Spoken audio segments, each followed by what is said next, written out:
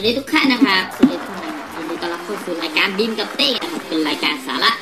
BIM นะมันจะมีสองเรื่องนะวันนี้เรื่องเรื่อง wind load แล้วก็เรื่องที่สองเนี่ยเป็นคนถามมาสร้างโหลดเคสคอม b บ n ชันเพื่อดูค่า envelope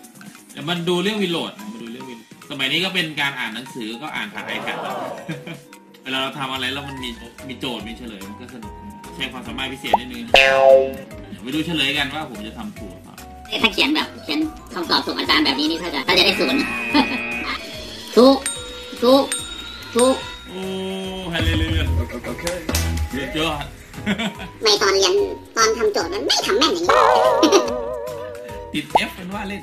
นะเรากำลังคำนวณ wind load เทียบอ่าจากตำราเทียบกับวินซิมูเลชันในโรบอทแล้วก็โหลดเดเร c ชันนะเรามาเช็คก่อนว่ามันจะถ่ายแรงไปทางไหนนะครับใครอยากศึกษาเพิ่มเติมนะครับ Robot เขาก็จะมีตัว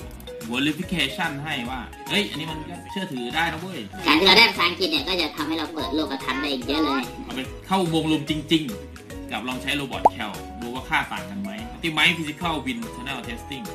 ก็จะทำให้เราไม่ต้องเสียเวลาไปสร้างโมเดลจริง ๆ แล้วก็เอาไปเข้าอุโมงค์ลมอีกทีหนึงก็สามารถคำนวณได้เลยเดี๋ยวใช้ wind simulation ให้คิดนะครับ ใครถูกใครผิดก็โปรดใช้ engineering sense และวิจารณญาณของคุณเป็นเองนะครับ โอเคนะก็จบเรื่องแรกไว้เท่านี้นะครับ โอเคสาระมาเต็มนะอยากรู้ว่าศาสตร์วิศวกรรมมันจะไปทำอะไรได้บ้างโอเคซึ่งใครดูไลฟ์นี้ก็จะเห็นไอเดียแหละเราก็จะไปสร้าง load combine เพื่อดูเป็น load case ของตัวเองได้ ทั้งบวกเป็นบวกหรอกบวกผลบวกมากที่สุดเขาเป็นลบมากที่สุดและเหตุผลที่เขาอยากจะทำดู envelopeนะครับสมัยเรียนอยากเก่งโปรแกรมอย่างนี้จะได้จะทำข้อสอบได้หมด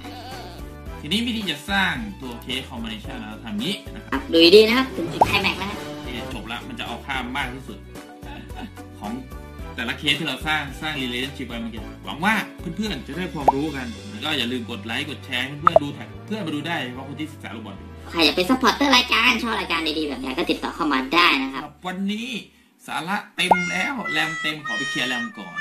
ลาไปเท่านี้ครับ สวัสดีครับ